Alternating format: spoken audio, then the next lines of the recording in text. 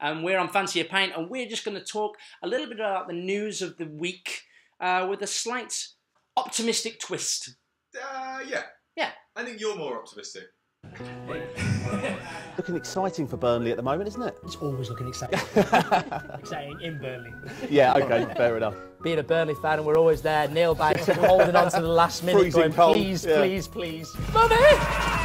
Um, but it's a bit, it is a bit dodgy around there as well. Um, I was watching TV the other day and someone nicked our satellite dish whilst I was watching TV. Ah, I was watching the chase and I could hear him unscrewing the dish and I thought, the chase is on.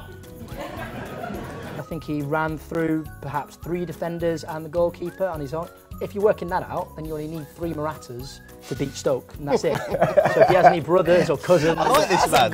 I like this man. Hello, I'm Scott, your host for this episode of the Student Studio. Yeah. You know, get Beyonce and the girls on, on the pitch, and Mm. they're going to look great. If, if things turn sour, They've got a backup plan. they've got a backup plan. Well, that used to be me until I discovered ORS hydration tablets. Ladies and gentlemen, welcome to the DNB Fitness Boot Camp.